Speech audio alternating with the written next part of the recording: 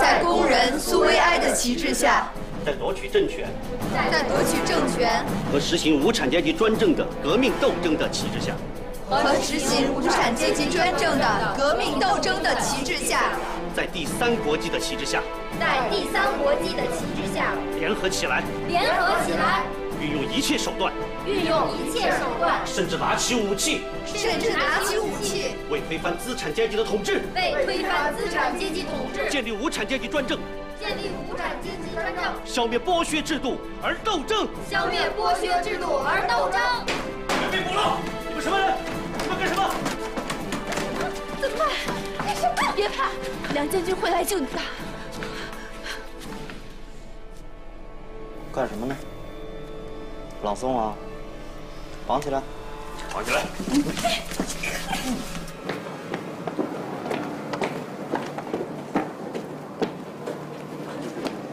梁将军，我看您这等半天了，饿了吧？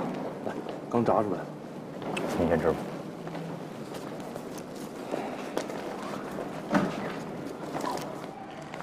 梁将军，都这个点了，嫂子怎么还没来？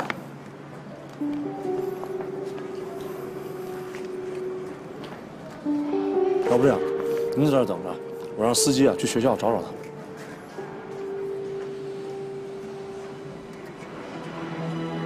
他现在应该不在学校。你们不能动他，他是将军的太太。什么？她的先生是将军。哦，您先生是将军。带走。是，走，走，走。快点，快点，快点，走。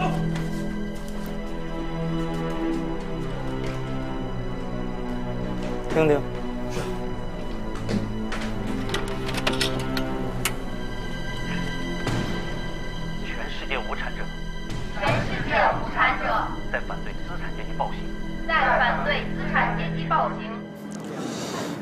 梁将军，都这个点了，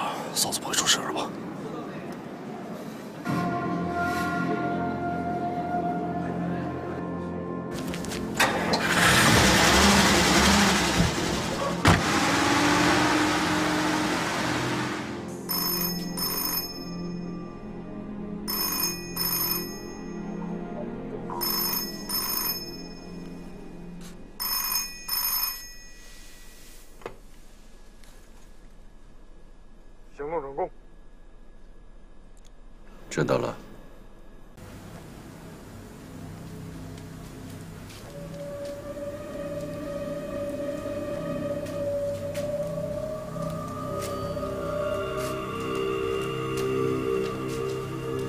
都看清楚了，你们要认清形势，不要抱有任何幻想。如果不交代你们的罪行，我将会对各位采取非常残酷的刑罚。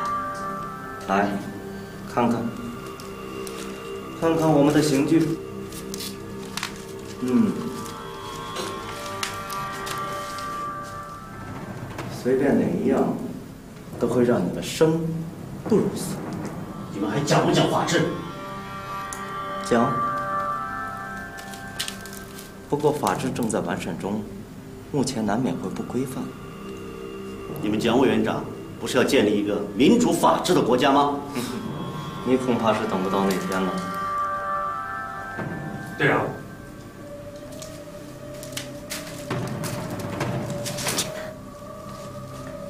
参谋总长陈诚亲自来电话了，不准对杨素雅动刑。他怎么知道在这儿？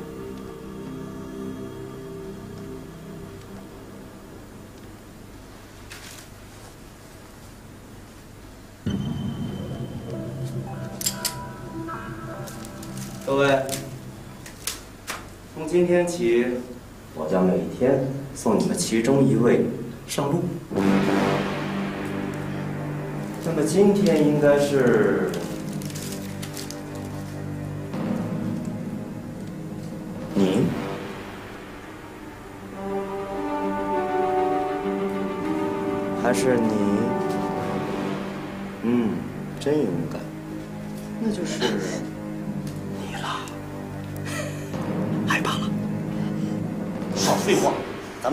谁会怕死？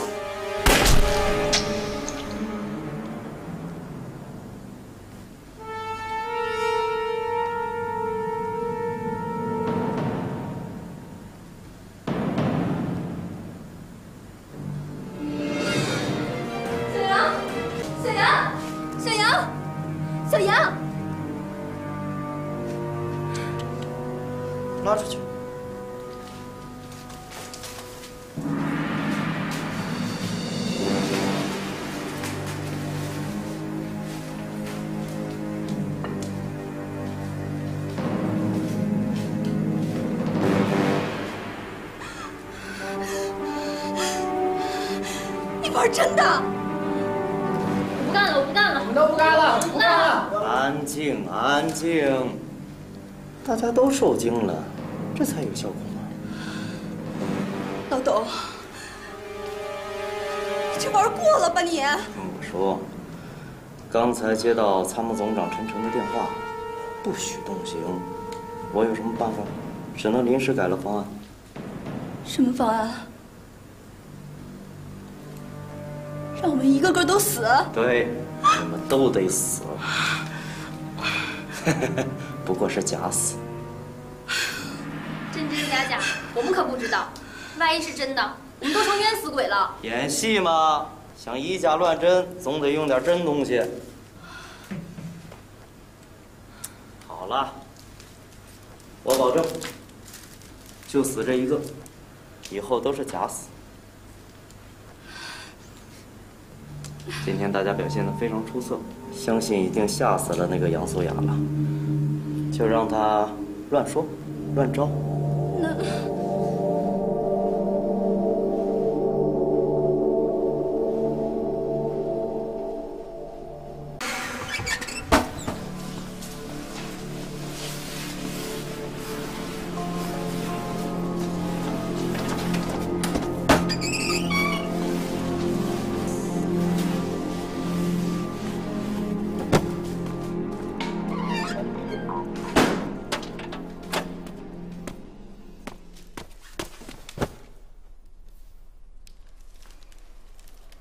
老师，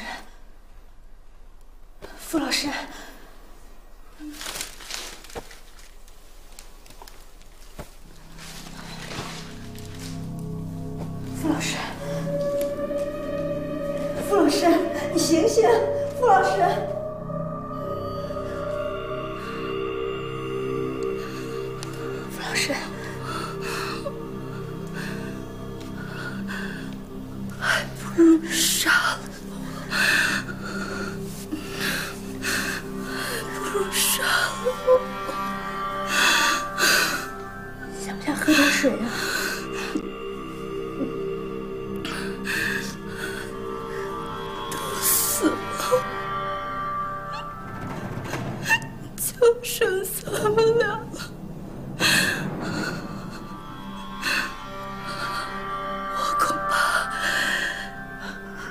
活不过明天了。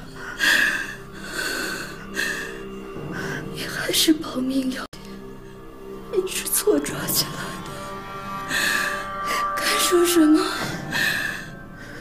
就说什么吧。他们就是法西斯，我绝不向他们倾。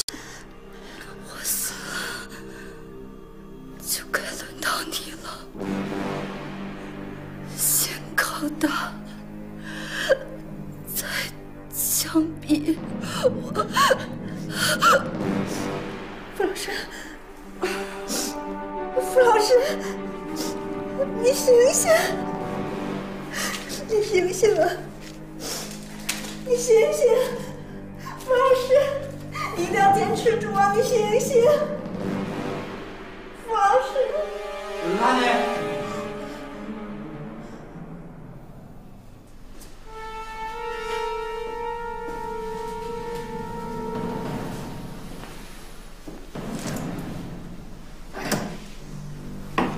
进去吧。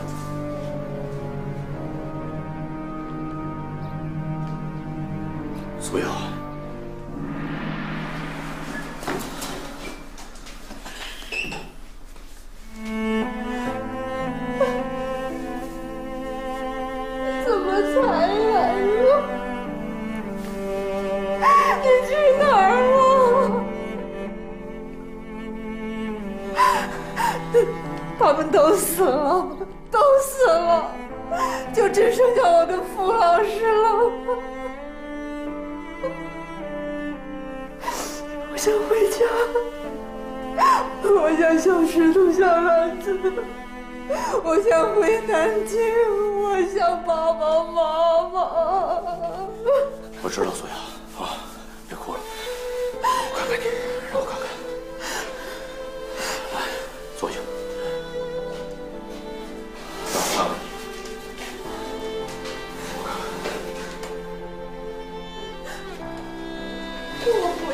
死在这儿，我不要死在这儿！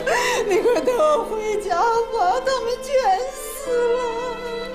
不会的，不会的，我在想办法，我一定会带你回家的，不会让你死在这儿的。你快带我回家吧！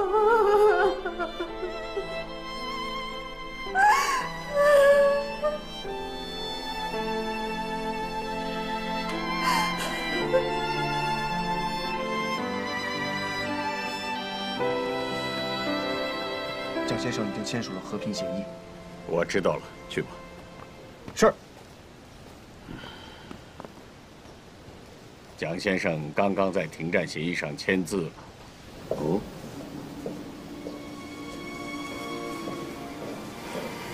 看来国共的蜜月期要到。肯定是一个很短暂的蜜月啊。对了，培训基地找到了没有？地方是找到了。嗯，那你把拟好的名单上的人先秘密的转移过去。我在想一个问题：冈村宁次这批战犯成为我们的教育，政治协商会议之后，会不会向民众不好交代？只要能够保密一段时间，我就不担心了。战犯一旦进入审判程序，时间就会拖下去，以后的事情还很难说。国共一旦打起来，我们现在所做的就是先见之明。我反而担心的是杨素雅的案子，本身就是个假事件，陈诚一定会盯着。事情如何收场，人一旦放出来，这事情就会搞得没完没了。这个你放心，我有考虑，知道该怎么做。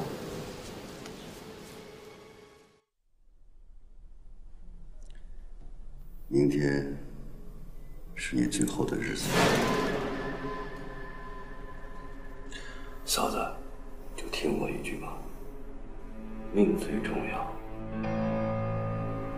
只要我承认自己是共产党，我就可以出狱了，是吗？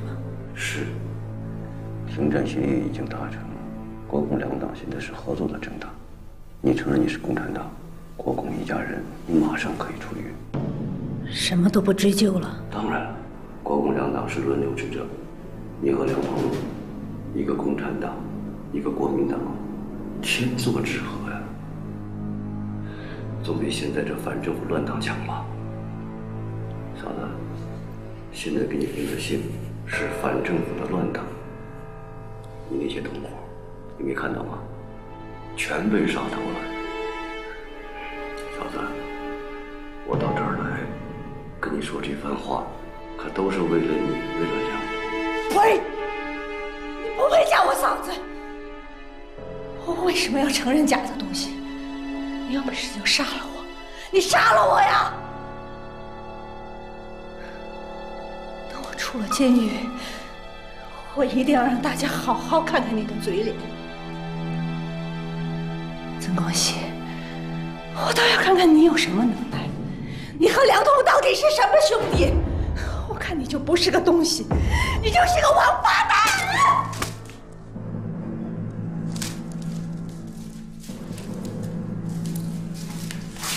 局总局总陈总长说了？不能动刑。什么？不能动刑。哦。是吗是。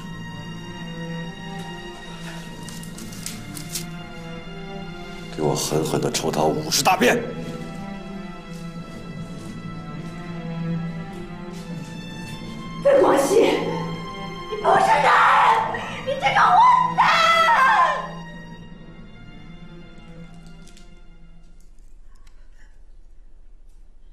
什么？你要干什么？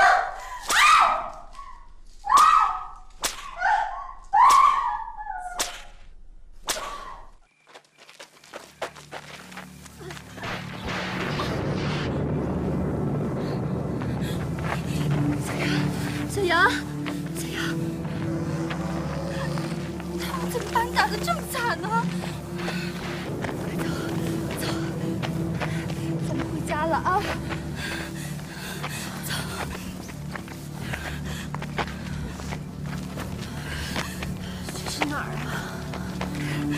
逃出来了，走。要干什么？不行，不能逃，不能逃，我要回去。小杨，再不逃就没命了，逃了才没命呢。不能逃，逃了这命就是真的了。快走，回去。杨素雅，你疯了吧？再不逃的话，咱们就真的没命了。快走，快走，快走！